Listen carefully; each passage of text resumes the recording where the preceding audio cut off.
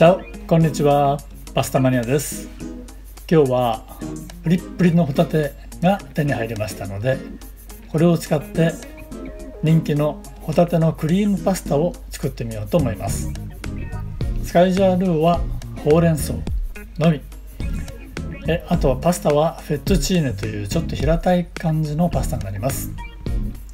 さあ美味しくできるのでしょうか？それでは最後までよろしくご視聴お願いいたします。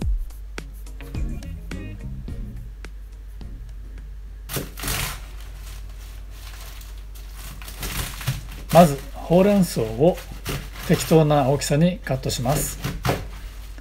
これは最後にパスタの茹で汁に合わせて一緒に少し湯がいてソテーします。レモンをくし形に切っておきます。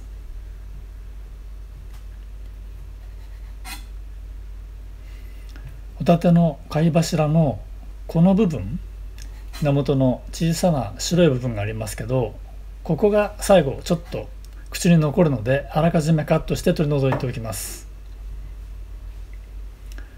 今日はホタテ6個使います。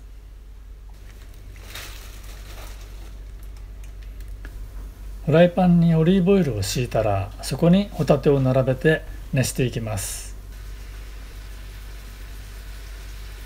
塩コショウをします。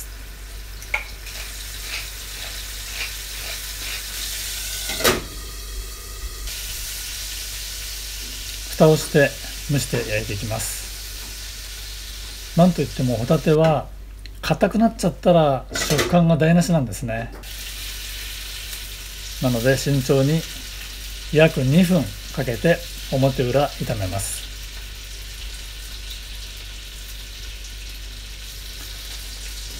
火が通ったら引き上げておきます。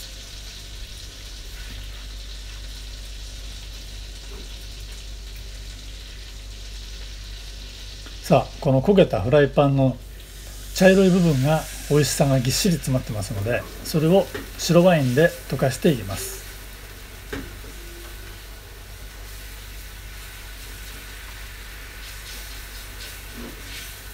丁寧にこそげ落としていきます。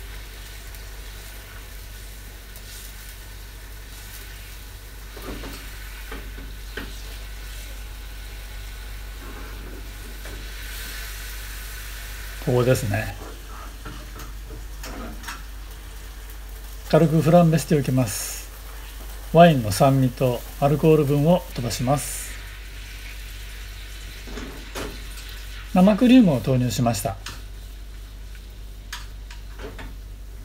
これで美味しいソースが出来上がってます。1.5%の塩分濃度のパスタの茹で汁にフェットチーネを入れて茹でていきます。1人前 50g ですね。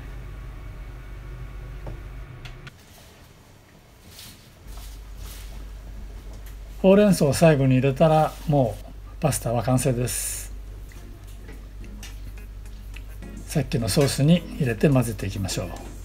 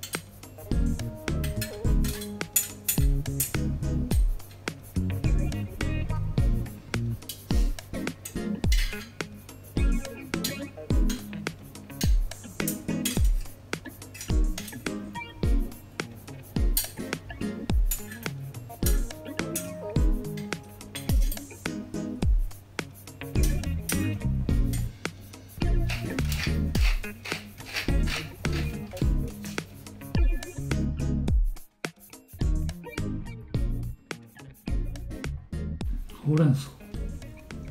いいですね。ごちそうさまでした。美味しかったです。ホタテのソテーはなるべく2分以内に収めた方がいいような気がします。表1分裏1分合計2分みたいなね。その後白ワインで煮詰めたんだけど、えー、ちょっとワインの酸味があんまり飛んでなかった。なのでちょっと全体にこう味のバランスがなんかうまくいってなかったですね。60点ぐらいです今日は。ということで今日はホタテとほうれん草のクリームパスタをお届けしました、えー、また次の動画でお会いできたら嬉しいです。ではまたチャオ。それではもうチャオ。バナナって。ホタテがねすごい甘いのね。